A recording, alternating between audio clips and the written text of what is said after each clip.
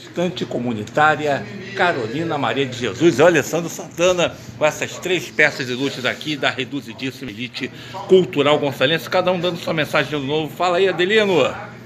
2024 estaremos firmes e fortes na, eh, na condição de empréstimos e doações de livros. Venham ler e reler as histórias de é, autores e autores gonçalenses. Isso aí, professor. Boa noite, galera. Eu sou o professor Walter Azevedo. Quero desejar 2024 saúde, paz e amor. Eu sou escritor, sou poeta e gostaria de é, agradecer o Adelino por abrir esse espaço cultural em São Gonçalo. Obrigado, amigo, companheiro Adelino. 2024 com paz e amor e saúde para todos. É isso aí, o nosso amigo. Feliz aniversário, pessoal. Boas festas. Leiam, leiam. Só se pode ser feliz com um livro na mão.